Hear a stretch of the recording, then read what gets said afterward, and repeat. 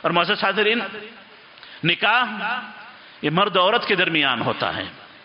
اللہ تعالیٰ نے کچھ ایسی ترتیب بنائی ہے کہ مرد عورت کو اللہ نے ایک دوسرے کے لیے بنایا، ایک دوسرے کے لیے رکھا۔ مرد کا مرد سے شادی کرنا غیر فطری ہے۔ عورت کا عورت سے شادی کرنا غیر فطری ہے۔ یہ بڑے افسوس کی بات ہے۔ قیامت کے قریب ہونے کی نشانی ہے۔ انسانیت کی بربادی کی نشانی ہے۔ اللہ کی لانتوں اور غصے کے نازل ہونے کی نشانی ہے کہ حکومتیں یا لوگ مرد کی مرد سے شادی کو قانونی طور پر اس کا ایک حق دے دیں، عورت کی عورت سے شادی پر اس کو قانونی حکم دے دیں، یہ فطرت سے بغاوت ہے۔ یہ فطرت سے بغاوت ہے۔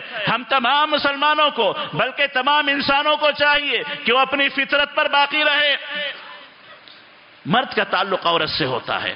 اللہ تعالیٰ نے مرد کے اندر یہ جاذبیت رکھی کہ عورت اس کی طرف مائل ہوتی ہے۔ عورت میں اللہ نے جاذبیت رکھی کہ مرد اس کی طرف مائل ہوتا ہے۔ مرد کا مرد کی طرف مائل ہونا، عورت کا عورت کی طرف مائل ہونا، یہ غیر فطری، غیر اخلاقی، غیر دینی، غیر سماجی، غیر قانونی، ہر اعتبار سے فطرت کے خلاف عمل ہے۔ جو کسی صورت ایک مسلمان یا ایک انسان اس کو برداشت نہیں کر سکتا۔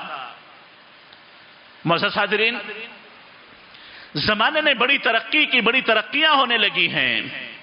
ترقیوں نے جو انسانی اصول ہیں، وہ انسانی اصول بھلا دیے۔ اور بڑے افسوس کے ساتھ یہ تعلیم بھی لوگوں میں عام کی جا رہی ہے کہ کسی مرد کا مرد ہونا، کسی عورت کا عورت ہونا، یہ اس کے اپنے اختیار کی بات ہے۔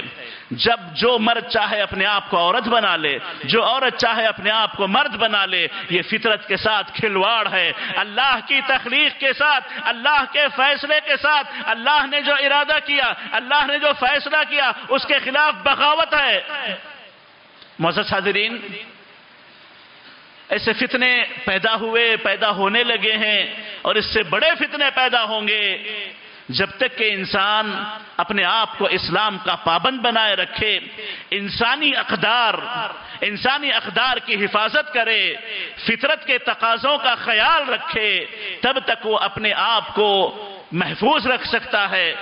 اپنے آپ کو محفوظ رکھ سکتا ہے۔ اس دنیا میں بھی، اللہ کے پاس بھی، آخرت میں بھی جب وہ اتنا آزاد ہو جائے کہ فطرت کی، فطرت کے تقاضوں سے اپنے اپنے آپ کو آزاد کرنے لگے، تو یاد رکھیں اپنے آپ پر اللہ کے غضب، اللہ کے اللہ کے عذاب کو دعوت دینے لگا ہے۔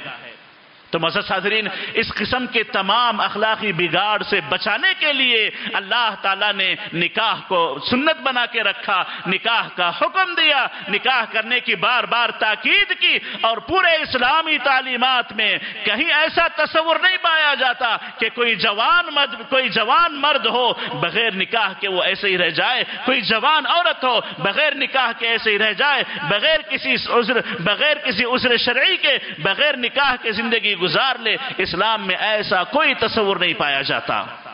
اسلام میں ایسا کوئی تصور نہیں پایا جاتا۔ اللہ کے نبی نے واضح طور پر چونکہ نوجوان شادی کے پہلے محتاج ہوتے ہیں، ان سے کہا کہ یا معشر الشباب، اے نوجوانوں، مرد ہو کہ عورت، اے نوجوانوں، یا معشر الشباب، من استطاع منکم الباعت فلیتزوج کہ جب شادی کی ضرورت محسوس ہو، شادی کر لو۔ شادی کر لو۔ اللہ کے نبی نے شادی پر ابھارا ہے کہ جب شادی کی ضرورت محسوس ہو تمہیں، مرد ہو کے عورت، لڑکا ہو کے لڑکی، شادی کر لو یہ اس کا علاج ہے۔ شادی کر لو یہ اس کا علاج ہے۔ اور اگر ضرورت محسوس ہونے لگے کہ شادی تمہیں کرنی ہے، کسی وجہ سے رکاوٹ ہو شادی نہ کر پاؤ، تو اپنے آپ کو ایسے ہی آزاد نہ چھوڑو، روزے کا اہتمام کرو۔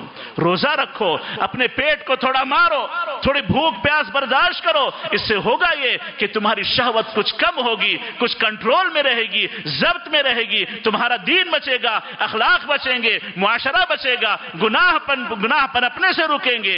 فَإِنَّهُ لَهُ وِجَا اللہ کے نبی نے کہا کہ یہ بہترین ڈھال ہے پورے معاشرے کو بچانے کی، اس کو دینی بگاڑ سے بچانے کی، اس کو اخلاقی بگاڑ سے بچانے کی۔ اللہ کے نبی نے تو یہاں پہ صاف حکم دے دیا، نوجوان مردوں، عورتوں کو، کیونکہ وہ شادی کے زیادہ محتاج ہوتے ہیں کہ شادی کر لو، شادی میں تاخیر نہ کرو۔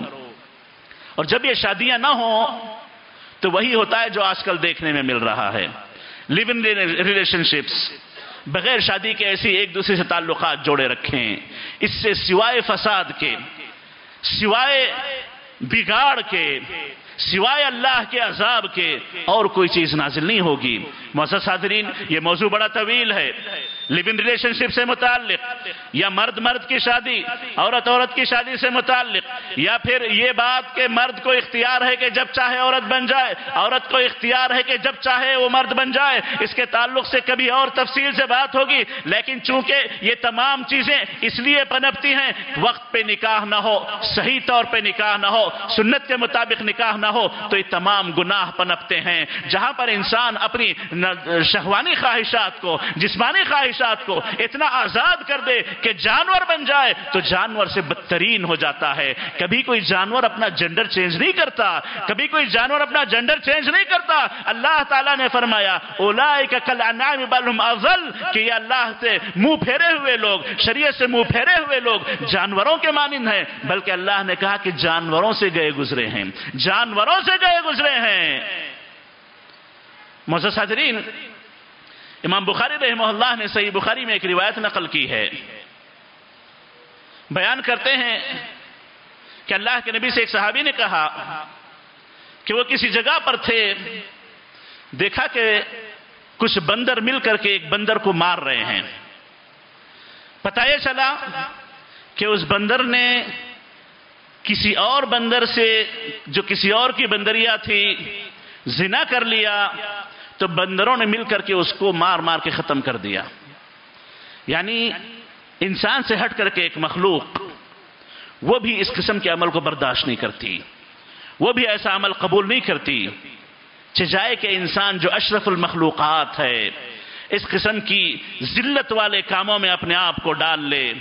معزز حاضرین اس سے اپنے آپ کو بچائیں۔ خاص طور پر نوجوان نسل جو لڑکے کالجز میں پڑھ رہے ہیں، جن کے سامنے دنیا بہت پھیلی ہوئی ہے، ترقی کے نام پر بہت سی گمراہیاں آنے لگی ہیں، اپنے نوجوان بچوں کی حفاظت کریں، نوجوان بچیوں کی حفاظت کریں۔ اور خاص طور پر ان کی فطری ضرورت، ان کی شہوانی ضرورت، اس کو پورا کرنے کا شرعی طریقہ فوری طور پر جب ضرورت محسوس ہو، بگاڑ کے اندیشے لگنے لگے فوری طور پر اپنائیں، تو ان کی دین کی بھی حفاظت ہوگی، ان کی دنیا کی بھی حفاظت ہوگی، اخلاق کی بھی حفاظت ہوگی، پورے معاشرے کی حفاظت ہوگی۔ اور اگر یہ چیزیں وقت پہ نہ ہو تو معاشرے میں بگاڑ، معاشرے میں فساد اور معاشرے میں اس قسم کی گناہ پلنے لگیں گے۔ اللہ تعالیٰ سے دعا ہے کہ اللہ تعالیٰ ہمیں شرعی احکام کو صحیح طور پر سمجھنے کی، اس کی حکمتوں کو جاننے کی، اس پر عمل پیرا ہونے کی توفیق نصیب فرمائے۔ آمین۔